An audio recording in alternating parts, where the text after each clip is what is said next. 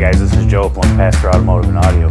Today we're doing a setup and navigation guide for the WonVon underseat subwoofer. We're going to go over the auto power on function and we're going to go into a little bit more detail on the Lotus Lantern app. So please stay tuned and thank you for watching. Alright, so now what the auto power on is for is actually to turn the amplifier on when it receives an audio signal from your car's stereo, you have to actually tap into your stereo speakers. And to do this, we're doing this on my Pioneer AV head unit out here on the bench. So that will give us our audio input. And now how it works is you do not have your remote hooked up, but you do have your audio input coming in from your speakers. So now I actually have Netflix Hustlin', I believe, queued up on the TV here, which is connected to my AV receiver. So now when I press play on the remote, it should Yep, there it goes. Automatically hook, turned it on. So now I'm going to go ahead and I'm going to pause it. Let's see how long it actually takes for it to turn off. Uh, last time it took me about two minutes, but that's good. Um, it doesn't want to turn off right away, just in case if you mute, you know, your volume on your radio for a second, and then it doesn't want to have to cycle the amp on and off. So that little bit of grace period, that little bit of delay is actually what you want. So let's see how long it takes. Probably going to have to elapse the time. There we go. All right. One out. Cool. Try it again. Up, oh, there it goes. Well, all right. So let's go into detail in this Lotus Lantern app.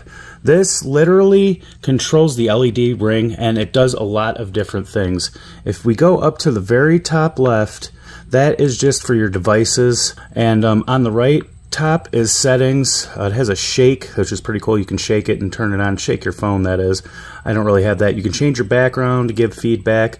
Do the auto connect. Um, I always keep the auto connect on, but I guess you don't necessarily have to. So now down on the bottom, we have adjust, style, music, mic, and schedule. But probably the most important thing is this right here. That is actually to power it on. And as you can see, you can spin it and change it any color you want.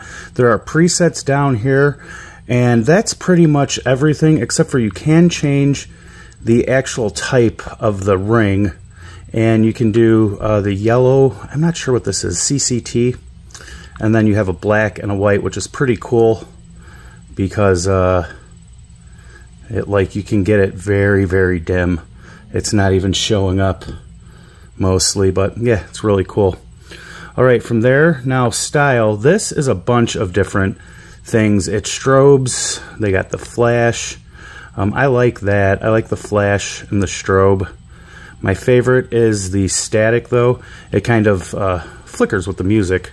I don't have any music on right now, but yep, that's what that's for. And you can also change the speed and the brightness. Next from down there, we have music, and music actually has music that is stored in your phone and it will uh, you know react to the music it's really cool the next one down is actually one of my favorites um, this is mic and this will actually make it react to the microphone. So as you can see it's only working when I am talking which it would be working all the time because I talk a lot. But anyways from down there you can even set schedules to turn on and to turn off whenever you please. So let's get some music going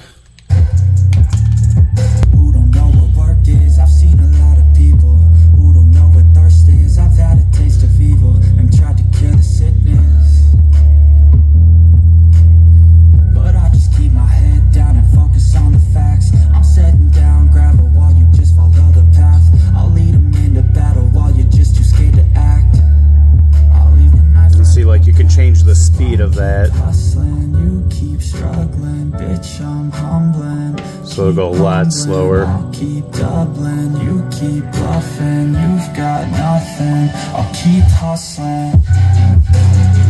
And like I said, go back to adjust.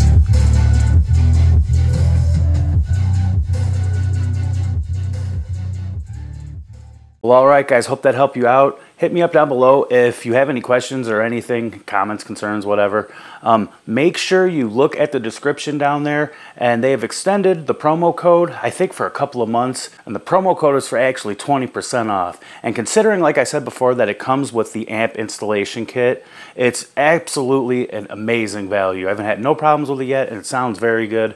Like I said, it actually sounds better than the J10 ASB and the dual TBX10A. Just kind of is what it is. Also be sure to watch the video in the description on how to hook one of these up full installation using RCA's and a remote wire. And just remember, if you're using a remote wire, you do not need the auto power on to be on. You need to turn it off.